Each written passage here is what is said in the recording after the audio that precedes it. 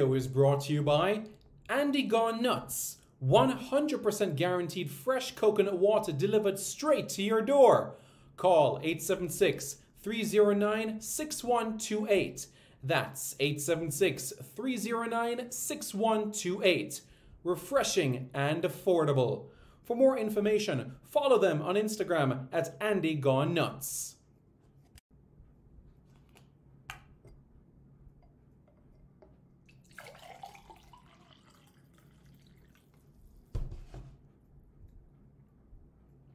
Mmm, truly refreshing. And Crumble by Mrs. C. Old English fudge and other delectable sweet treats. Call or WhatsApp 876 586 0471. That's 876 586 0471.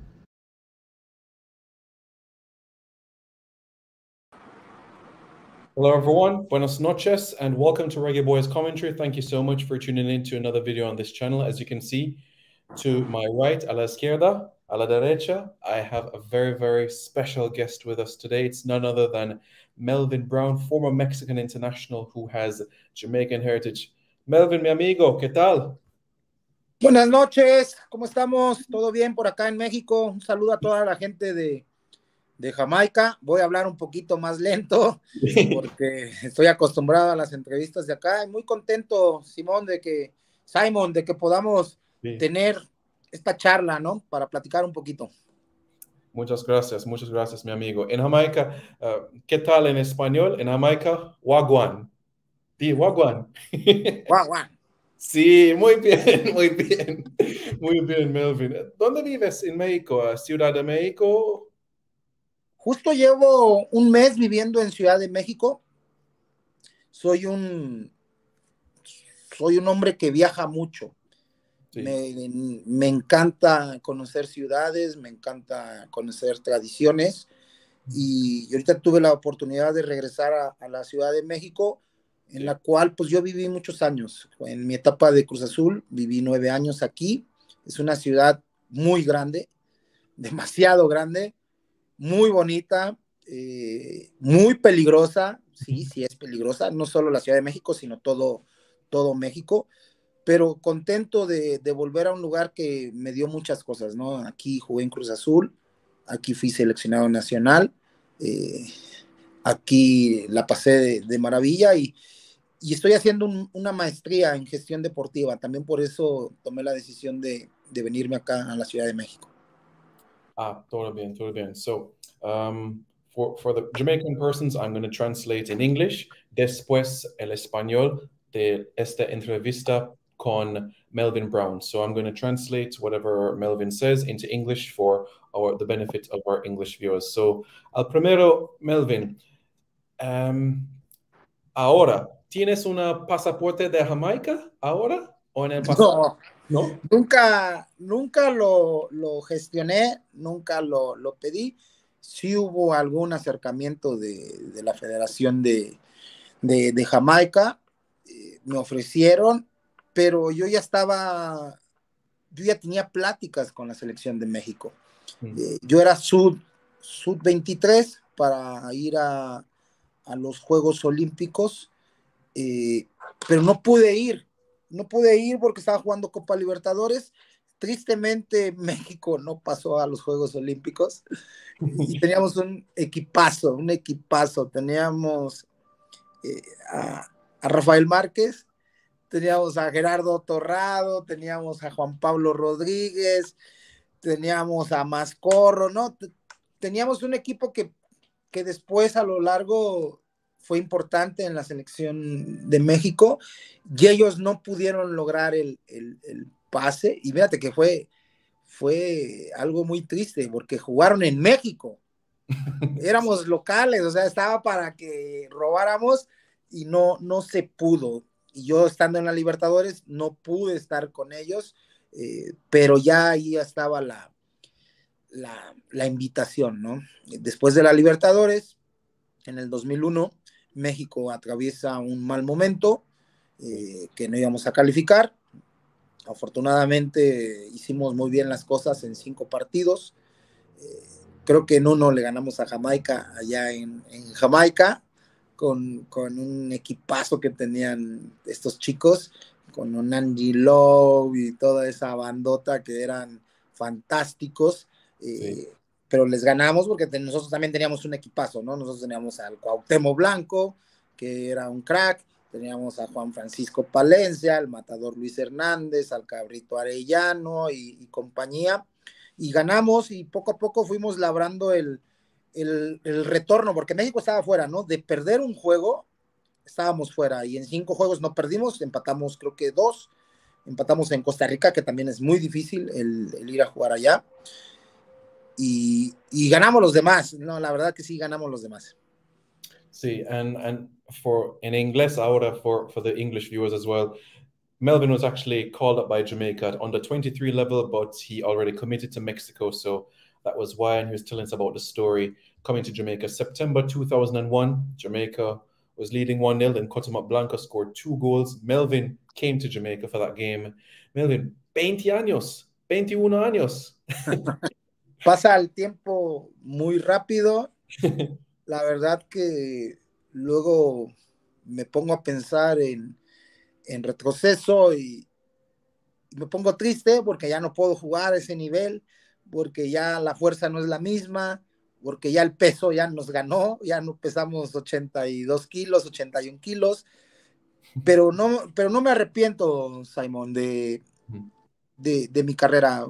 Me faltaron muchas cosas, ¿no? Me faltó jugar en Europa, me faltó jugar el Mundial, me faltó ser campeón en el fútbol mexicano, no tuve la oportunidad, pero hay cosas muy, muy lindas allá atrás, ¿no? De, mi carrera. Fui el mejor novato de la Liga Mexicana, en su oportunidad fui el mejor defensa de la Liga Mexicana, fui a un mundial, no cualquiera puede decir que fue a un mundial, yo me lo gané, eh, eh, me, me paré en muchos países del mundo que son catedrales del fútbol. Jugué en la bombonera y le ganamos a Boca Juniors. Jugamos en, el estadio de River Plate y quedamos 0-0. Jugué en el estadio de, de Pelé, perdimos 1-0, creo. Jugué contra el Real Madrid, quedamos 1-1. Jugué contra el Milan, contra el Milan, le ganamos 1-0. Jugamos contra el Atlético de Madrid y le ganamos 2-1. Entonces, no me puedo quejar. Eh, teníamos nuestro nivel, eh, teníamos tenía buena preparación. Cruz Azul en esa época preparaba muy bien a, a sus jugadores y no me costó, no me costó nada. Yeah, and what Melvin is saying to all our viewers as well that he, the 20 years has gone by so quickly. He had a good career. He played for Cruz Azul many years. He also had some playing time at, at Tecos, Puebla, um, amongst different clubs. Went to the World Cup in 2002 in Japan, Japan, and South Korea. So reflecting, he said that he had a very, very good career and he's grateful for the journey that he has taken. Uh, Melvin, ¿siempre fuiste un defensor en fútbol toda la vida en fútbol?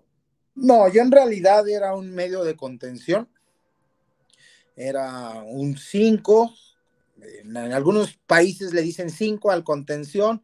Mm. Un 5, un clavo, alguien que está ahí, que balancea la, la defensiva con los medios que se van era como el primer, el primer escudo. Pero Simon, yo pateaba a todos. Yo pasaba por ahí uno y lo pateaba, pasaba por ahí otro, lo pateaba. Y, entonces a algún entrenador se le ocurrió hacerme defensa, donde tuviera, estuviera más guardadito y no fuera tan, tan agresivo. En cambio ahí, cuando estaba en el de mediocampista, pues era mucho espacio que cubrir y yo le daba a todos, así como un como un Casimiro, pero bueno, que él tiene mucha técnica, él tiene mucha técnica, eh, pero así un jugador que si me decían el número 10 es muy bueno, y yo me encargaba de él y no hacía nada. Ya después me reconvirtieron en, en defensa, ya hice toda mi carrera con una particularidad. Yo era derecho, y toda mi carrera jugué de izquierda. Cuando voy al mundial juego de defensa por izquierda. Eh, cuando juego en Cruz Azul juego defensa por izquierda y todos los equipos que dijiste, Jaguares de Chiapas, Puebla, Tecos, Irapuato, jugaba de defensa por, por izquierda. Yeah, Melvin had some time in the midfield, but centre back for the most of his, his career. Um, Melvin, ¿quién en tu familia eh, es jamaiquino o jamaiquina? Uh, ¿Abuelo, abuela? ¿Quién en, en, su familia? Mi abuelo, mi abuelo George Brown. George. Él es, eh, es el, el, que nos da la, el apellido y nos da nuestra raza, ¿no? Ya él llega acá a México y se casa con, con una veracruzana, porque ahí está el, el, puerto de Veracruz, por ahí entró, ya es que hace su, su familia. Nada más que él jugaba béisbol. Y a mí me encanta el béisbol, pero pues bueno, sí. no. La, la, verdad, el fútbol en México es, yo creo que está por encima de todo el, el, el fútbol, por encima de la, de la religión, por encima del, de la política, eh, por encima de hasta de las drogas, está por encima de todo. Acá es una locura el fútbol, eh, todos estamos con nuestros equipos, muchas eh, rivalidades, mucha historia. El fútbol en México tiene más de 100 años, entonces eh, yo decidí no adoptar el deporte de mi abuelo y sí dedicarme al, al, deporte de las patadas. y, y, inglés para las personas inglés. Yes, so George Brown, it was his grandfather that was born in Jamaica, not his parents, but grandparents. So that's how he qualifies to play for Jamaica. Um, ¿Por qué se fue de México a, Jamaica a, a, México? ¿Para un trabajo, George Brown? ¿Para un trabajo? ¿Viajar a México? Yo quiero entender que, que a lo mejor era igual que yo, que le gustaba viajar, que le gustaba conocer, era muy joven, muy fuerte, lo que me cuentan de él, porque yo no lo conocía, él murió muy joven, él murió de 30 y 32 años. Mm. Eh, lo que me cuentan es que era un hombre muy alto, muy alto para nosotros en México, pero somos más chiquitos que los jamaicanos, es ah. de, de 1,85 para arriba. Muy bien. Sí, yo mido 1,75 y soy estatura baja, bajo. Pues soy mediano, aquí, aquí soy mediano, no soy bajo, ¿eh? Aquí soy mediano. Eh, y, y, se vino para acá yo, a trabajar, eh, a hacer vida, a conocer, se casó, tuvo cinco hijos, eh, y ahorita ya somos como 50, ¿no? Y hay 50 Browns por acá. Yeah, so in, in English now, he his grandfather left Jamaica for a work opportunity. He was a very strong man, young. He came when he was 32 years old and quite tall. He was six foot one. And what what Melvin is saying is that he's not short. Five foot nine is not considered short. So that's what Melvin was saying. Um, Melvin, uh, recuerdas um, haber um, um, Mundial, Mundial 2002 en Japón y Corea. Um, ¿Recuerdas uh, este Mundial? ¿Esta experiencia en, en, en, este Mundial? Sí, claro que, que lo recuerdo. Se, se cumplía un sueño de, de niño. Digo, todos los mexicanos, mm. hombres y mujeres, queremos ir a un mundial, porque el fútbol femenil acá en México ahorita está, eh, está en, en, auge. Recuerdo, la verdad, ir a un mundial es, es muy diferente a un torneo regular. Está todo, estás guardado mucha seguridad, todos los tiempos tienen que ser exactos, te hospedan en el, a nosotros nos hospedaron en el, en uno de los palacios del príncipe de Japón, o sea, estás ahí guardado, encerrado, pensando únicamente en jugar, en hacer bien las cosas, y así debe de ser, ¿no? Vas a jugar contra los mejores del mundo, vas a jugar contra grandes selecciones, nosotros tuvimos la oportunidad de jugar contra Italia. Y Italia traía Buffon, Canavaro, Nesta, eh, Gattuso, Totti, del, del Piero en la banca, porque los titulares era Totti y era Vieri. Entonces tenías que estar muy, muy concentrado. Y nos fue muy bien, quedamos 1-1 contra, contra mm. Italia. México le va bien contra los equipos fuertes. Contra los equipos que dices va a ganar, no, no le va bien.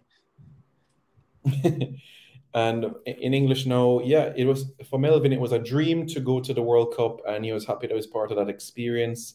And he was glad that, you know, he was able to be around some of the best players in the world. He spoke about the Italian players like Totti, Cannavaro, etc., etc. And addressing the question with Burp, yeah, if Jamaica had contacted him first, uh, he would have considered it very much so. Uh, but um, Melvin, ¿Qué tú piensas del equipo de México ahora con Mundial en, en, noviembre a Qatar? ¿Es un equipo fuerte, un equipo mixto? ¿Qué tú piensas? Mira, en México siempre creemos que tenemos la mejor selección del mundo y, y no la tenemos.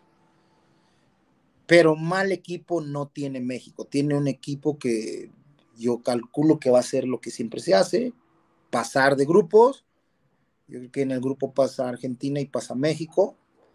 Eh, después, a ver quién nos toca en, la segunda ronda y se vuelve, se vuelve difícil. Yo creo que talento hay en todo el mundo. Ustedes tienen un gran equipo. La selección de Jamaica tiene, viendo los nombres, la verdad, Anthony, eh, todos los demás, la banda son buenos, pero a veces nos falta que sea un real equipo. Esa es la diferencia que yo veo de la selección de México de ahora a la que nosotros teníamos. Nosotros, la verdad, era un equipo. Y, a veces nos iba mal, pero cuando decíamos, vamos a darle, vamos a darle. Y nos metíamos a todos lados y, teníamos grandes líderes, Jorge Campos, Conejo Pérez, Osvaldo Sánchez, eh, Rafa Márquez, Claudio, Suárez. Suárez, Blanco. Blanco y luego Alberto García.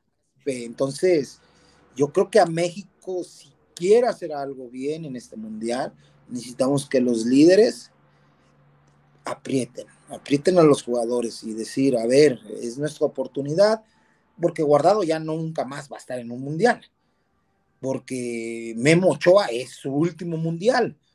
Y si quieren hacer algo bueno, es ahora. Yo creo, yo tengo fe, tenemos jugadores muy interesantes.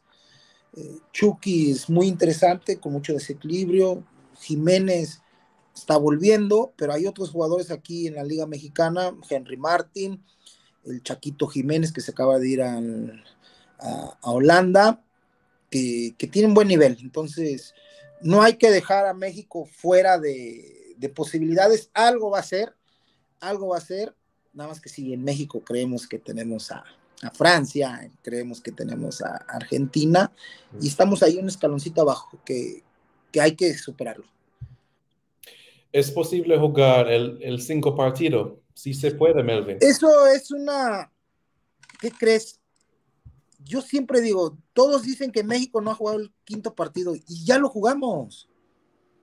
México en el 86 pasó al quinto partido y perdió con, Alemania. No más que no sé por qué acá los comentaristas de México dicen mucho esa frase. Dice, ah, es que Costa Rica ya pasó al quinto partido, creo que en Brasil. Estados Unidos ya pasó al quinto partido en Alemania. Pero México ya pasó. Ah, que éramos locales es otra cosa es otra cosa, ¿no? y era un gran equipo, un, equipazo, Pablo Larios Iwasaki, eh, era eh, Tomás Boy, que, acaba de fallecer, Hugo Sánchez, era un equipazo. Entonces, sí está mal ese, ese título, México sí ha pasado, ojalá pase del quinto y sexto, ¿no? Yo considero, Simón, que, que un mundial es como la Liga de México. ¿Cómo es la Liga de México? MX, sí. A lo mejor la Liga MX. Y vas mal y pasas de panzazo. Le pasó a Italia, le ha pasado a Alemania, le ha pasado a Argentina, pero después van encontrando el ritmo y, se, y van, van mejorando y se encuentran, ¿no? Es un mes, es un mes donde si ganas seis partidos eres campeón del mundo. Y en uno de esos tienes que pasar por los penales, donde nos ha ido mal, pero te puede ir bien. Mm.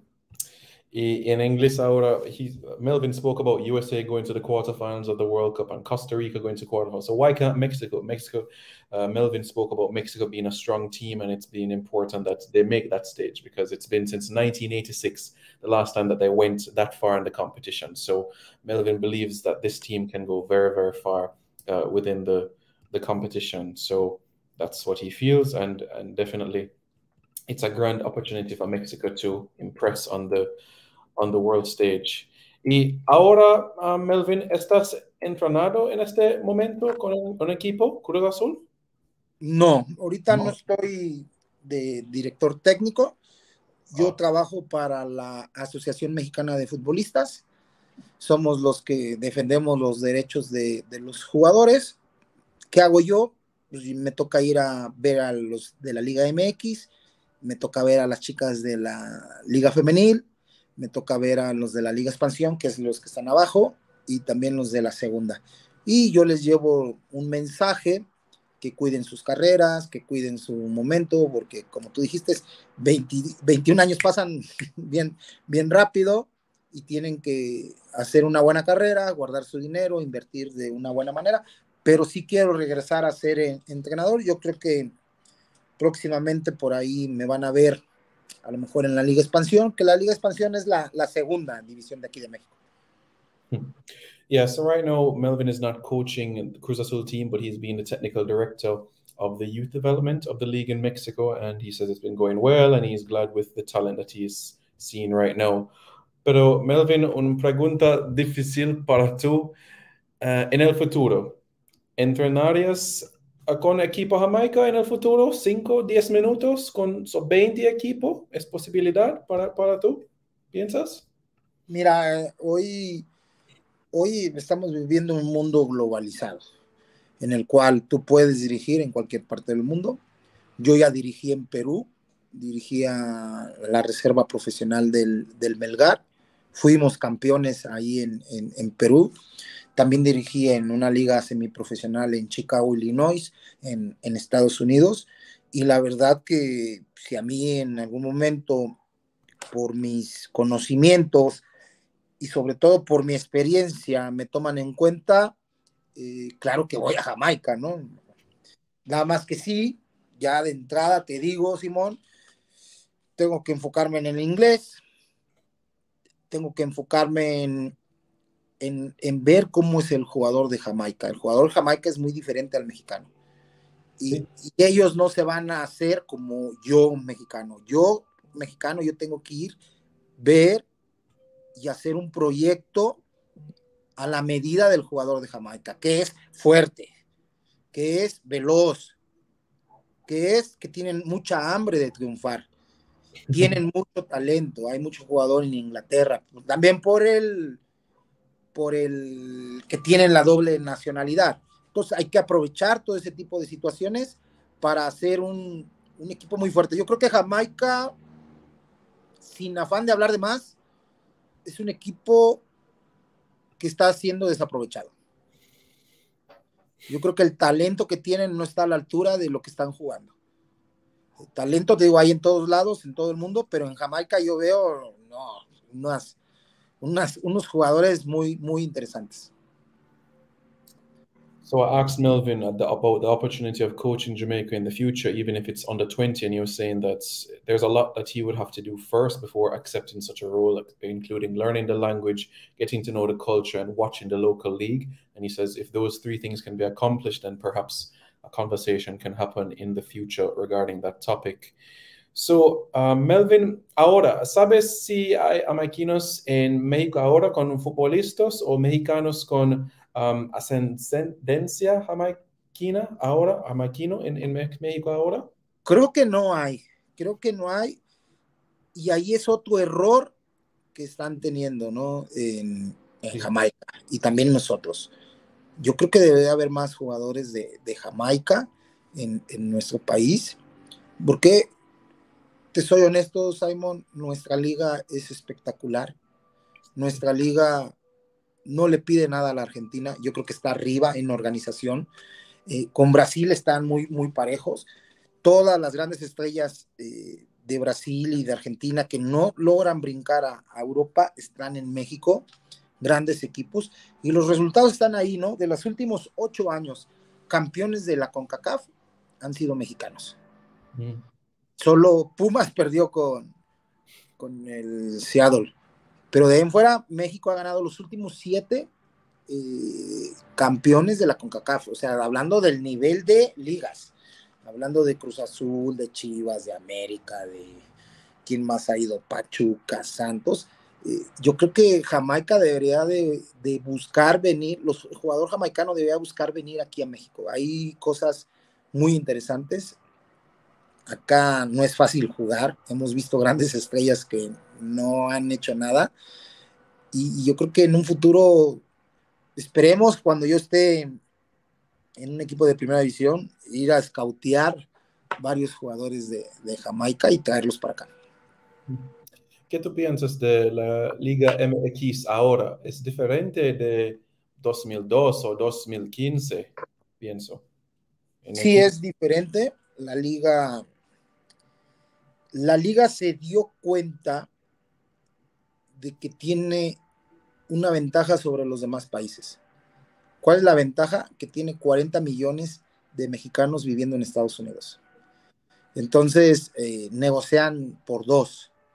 Si los derechos televisivos antes los negociabas con TV Azteca y con Televisa, ahora los puedes negociar con, con Fox Deportes, los puedes negociar con ESPN, entonces eh, también los patrocinios. Entonces la liga se ha dado cuenta de que hay que comercializar la, la marca y por eso nos hace más fuerte que los demás países, ¿no? Estamos diciendo que son en promedio 150 millones de, mexicanos entre Estados Unidos y, México que no los tiene ningún, ninguna liga. Y México creo que está posesionada como la liga número 8 a nivel mundial entonces es una liga muy, muy fuerte, una liga que está muy, muy bien desarrollada, cada vez se hace más profesional y ojalá los, eh, el talento esté a la altura de esa liga.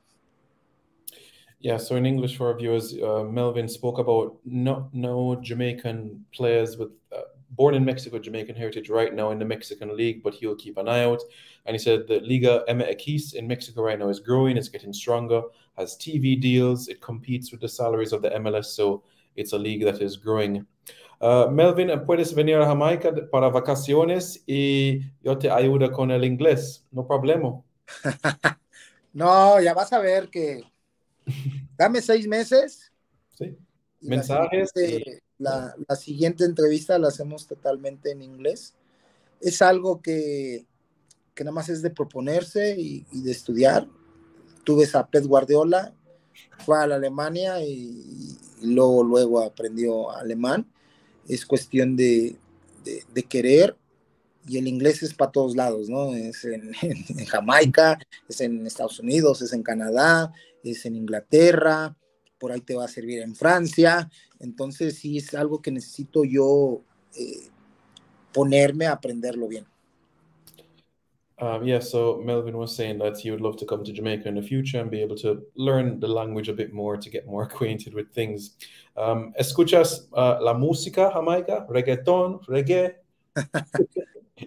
me gusta más, eh, soy un alma vieja, me gusta más el, el reggae, el reggaetón la verdad no, no, no es muy de mi, de mi agrado, pero sí, sin duda Bob Marley está dentro de mis cinco cantantes favoritos. Eh, la verdad que es una música que luego hasta la pongo para, para estudiar, para cuando ando ansioso me, me, relaje y, y, es muy bonita, ¿no? Eh, lo que hizo este artista, este jamaicano, fue espectacular, todo el mundo lo, conoce y es un orgullo, yo creo que para ustedes, el, que tengan un, embajador tan, tan fuerte a nivel mundial. Yeah, so um, Melvin spoke about reggae music being so huge around the world. He listens to that, not so much reggaeton, which is basically the Spanish version of reggae, but he certainly listens to reggae and he likes it. Uh, Melvin, ¿qué tú piensas de equipo Jamaica en fútbol? Rápido, fuerte, de, um, con los clasificatorios eh, en el pasado. Les fue mal en, en, el, en, el, en el octagonal, si, si lo vi, perdieron varios partidos de local, no pueden permitírselo, tienen que hacer de su estadio algo que sea muy difícil sacar puntos y sobre todo perdieron con equipos chicos, ¿no? A lo mejor por ahí puedes decir, viene Estados Unidos, viene muy fuerte, viene Canadá, viene fuerte, viene México, viene fuerte, ok, puede perder o vamos a buscar o vamos a buscar empatar, ¿no? Pero no puedes perder con, con, los, con los chiquitos porque ahí pues pierdes posibilidades de, calificar. Sí los veo fuertes, sí los veo rápidos, pero lo poco que les vi, no los veo con una idea.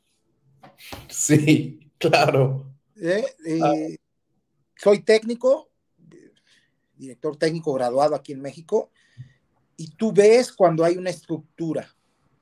Tú ves cuando el equipo sabe a qué va a jugar, sabe cómo defenderse, sabe cómo contraatacar. Y yo veía a los jamaicanos que de repente sí la tenemos, pero la tenemos porque no sabemos qué, a quién se la tengo que tirar y después qué tengo que hacer. Yo creo que sí debe de, apretar la mano la, la, federación, exigir al cuerpo técnico que ponga a estos jugadores en su lugar y que les enseñe cómo, porque la verdad son buenos, ¿eh? eh podemos dar nombres y son muy buenos. Creo que tienen más jugadores ustedes en, la liga inglesa que nosotros mexicanos, creo que nada más tenemos uno. Entonces, están desaprovechando una buena generación eh, y están desaprovechando estar en, en, los mundiales. Los mundiales que dan, dan prestigio y dan dinero dinero que te va a servir para toda la estructura que tengas que hacer para los siguientes mundiales. So Melvin said that Jamaica is a quick team, fast team, strong team, but lacks an identity. Uh, Melvin, el, el, problema ahora para que hay las, las personas um, inglés para la Liga Inglaterra, la Liga Jamaiquino, MLS en los Estados Unidos, no hay química en el equipo, ¿entiendes? Ahora. Puede ser, por eso vengan a México, acá les vamos a enseñar cuál es la, la, química. Aquí en México es muy difícil jugar, Simon. Juegas en CU a las 12 del día con un calor infernal. Juegas en Toluca a más de 3.000 metros de, altura y vas a, vas a Monterrey y hace frío y o hace calor. Por eso es muy, muy, muy difícil. Yo creo que el jugador de Jamaica debería de pensar antes de ir a la liga de la Major League, la, de los norteamericanos, yo creo que deberían de venir aquí a México. Ojo, ojo, no digo que vayan a Inglaterra, que vengan a México antes que ir a Inglaterra, no, primero vayan a Inglaterra, ¿no? Pero yo creo que la Liga de México es más, más peleada, es más competitiva que, que la de los norteamericanos. Yeah, so just to translate that, yeah, he said that uh, what Mexico did to solve their chemistry was having regular camps. So it's something that he advises Jamaica to do. And just to advise what Mr. Porter was saying, we touched on that earlier. He is the technical director of the Youth League there right now in Mexico. And he spoke about earlier in this interview about Jamaica as well.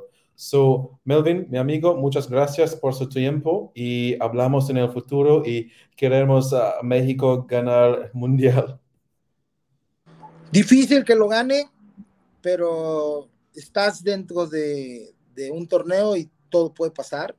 Eh, sería fantástico, no solo para México, sería fantástico para toda la confederación, toda la CONCACAF, que, uno de nosotros fuera campeones, porque todos van a voltear a ver, todos van a decir, a ver, Jamaica, ¿quién es Jamaica? Ah, ok, quiero jugar contra Jamaica. Y, eso nos va a dar para todos. Eh, difícil que, que se logre, pero no es imposible.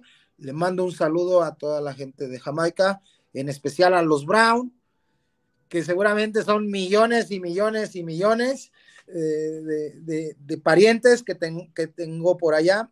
Eh, luego me voy a tomar el tiempo para ir a unas vacaciones. Desde luego te voy a avisar. Eh, pero no van a ser vacaciones. Quiero ir a ver el fútbol, quiero ver los estadios, quiero ver los entrenamientos, por si algún día en un futuro tengamos que ir, hacerlo de una buena manera. Right. So what Melvin says is that it'll be difficult for Mexico to win the World Cup, but as he said earlier, the quarterfinals is something that uh, we can build on and, and work on, and uh, hopefully that's something that can be done. Um, sí, Melvin, um, necesitamos química en CONCACAF, so México, Jamaica, amigos uh, con, con, con, con, este mundial y para um, preparar para este torneo y, y el mundial. Sí, hay que acordarnos que el siguiente mundial es acá entonces es muy importante que si tú puedes decirle a la federación que se tienen que aplicar. Eh, sería padrísimo que Jamaica vuelva al mundial después de más de 20 años y que lo haga aquí, ¿no? Donde sí, te aseguro que si viene Jamaica, nosotros como mexicanos lo vamos a apoyar a muerte. Y si le toca jugar en Monterrey, en Guadalajara o en Ciudad de México, lo vamos a apoyar como a ningún otro. Eh, no es lo mismo la situación con Estados Unidos porque somos rivales eh, y Canadá porque están muy lejos, pero yo creo que si, si se aplican y vienen al siguiente mundial, wow, va a ser espectacular. Y Mundial 2026, México, Canadá, Estados Unidos, en oportunidad para, para México, ¿no? Sí, es una oportunidad eh, que terminaríamos jugando las finales en, Norteamérica. Yo creo que ahí se les fue un poquito, debieron de haber pedido más partidos, pero bueno, los norteamericanos están muy fuertes, eh, son potencia mundial, pero México hace bien las cosas. ¿Por qué te digo que hace bien las cosas? Va a ser el único país que ha organizado tres veces una Copa del Mundo. Ni mm. Brasil, ni Francia, ni, Alemania, y México va a ser el, el pionero. Entonces, se hacen bien las cosas va a ser un éxito acá, van a estar los estadios a, reventar, ahorita los están, el de la Azteca lo están remodelando para que quede más espectacular, el de Monterrey es una belleza, el de Chivas también es una verdadera belleza y, y sin duda que va a ser un mundial como siempre acá en México, ¿no? Donde la gente va a ser lo más, lo más lindo, ¿no? Porque la gente, digo, aquí sueñan, aman el fútbol.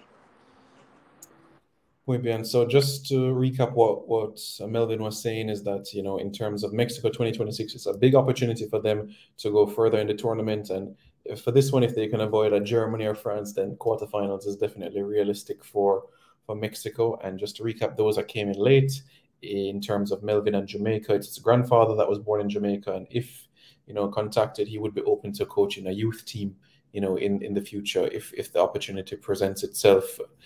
Mi amigo, muchas gracias y hablaremos pronto en el futuro. Primeramente, Dios, saludos a todos y muchas gracias por, por su tiempo y por su atención. Hasta luego, mi amigo.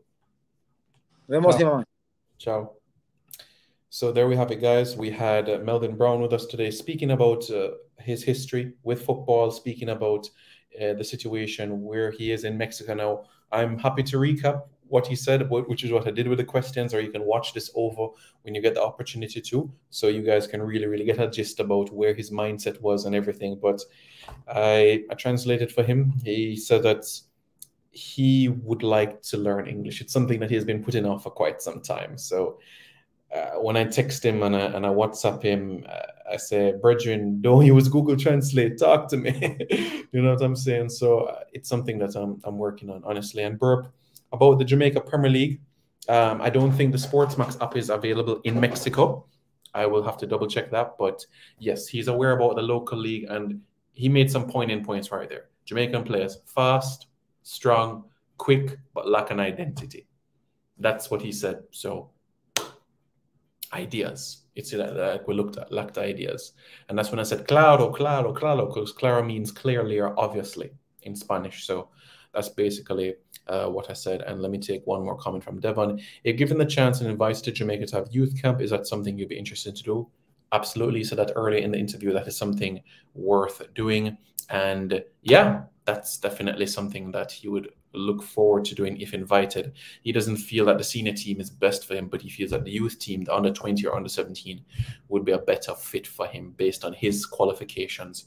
And I think that is fair. And that's something that, that we can all necessarily agree with. But Reggae Boys fans, what are your thoughts? What are your thoughts? Let me know your thoughts about that. And if there's something that he said that you didn't quite understand and you want me to go over to it, go over it, I'm happy to do so. But I hopefully you were able to grasp exactly what he said, what everything was was being said. So he said it right there, and and I think he, he was spot on there. It, it, to to some people it might be considered blunt, but look, he hit the nail on the head right there.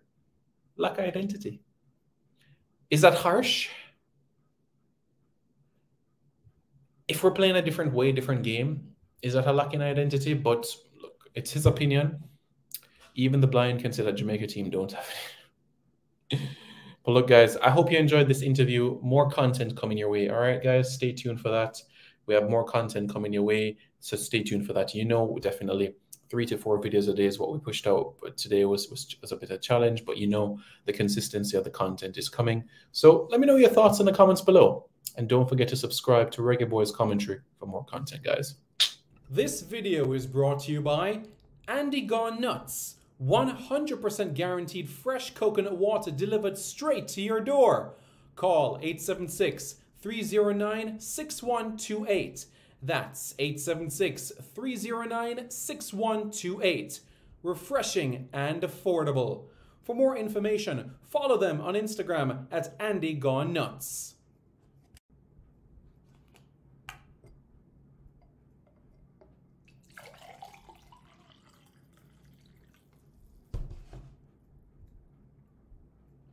Mmm, truly refreshing. And Crumble by Mrs. C. Old English fudge and other delectable sweet treats. Call or WhatsApp 876 586 0471. That's 876 586 0471.